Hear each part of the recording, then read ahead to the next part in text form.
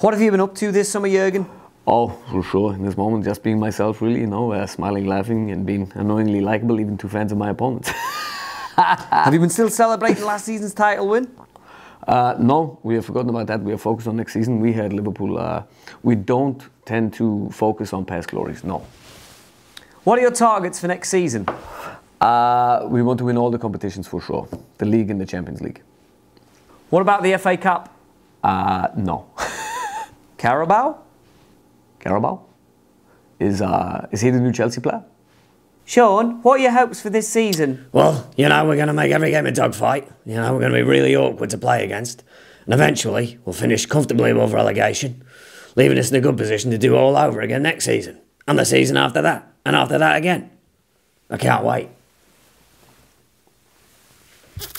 Mm. Hey.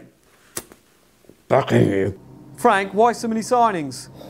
Well, as a team, I felt we need to improve and uh, we need to score more goals. So uh, we, we had to get a couple of players in. So. Well, you've done a great job in the transfer market. What's your secret?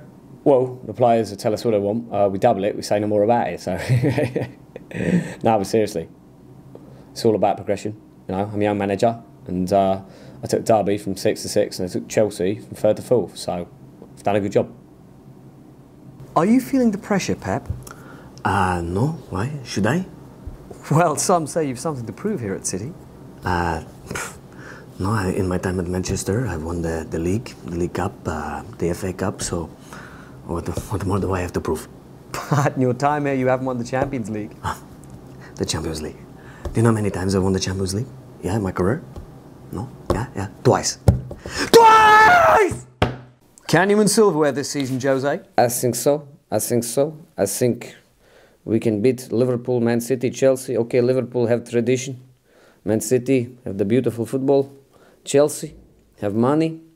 But we here at Tottenham have something very special. Me. I think we'll win the Premier League and the Europa League. For sure. Well, you need to win 248 games to win Europa League. You ready for that challenge? Okay, it's, it's a long competition. The players will get tired, I will get tired, but I always say it's better than doing another Paddy Power advert. What have you been working on this summer, Ole?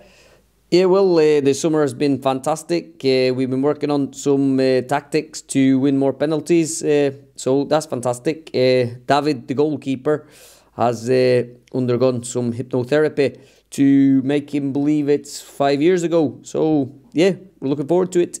Two trophies already, Miguel. Hopes must be high this season at the Emirates.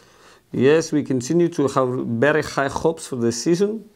Uh, Aubameyang is staying. We are playing football the right way. And I continue to have ridiculously dark and shiny hair like Lego Man. So things are beautiful right now. Marco, are you excited to work in the Premier League? Marco, sei entusiasta del lavorare nella Premier League? No.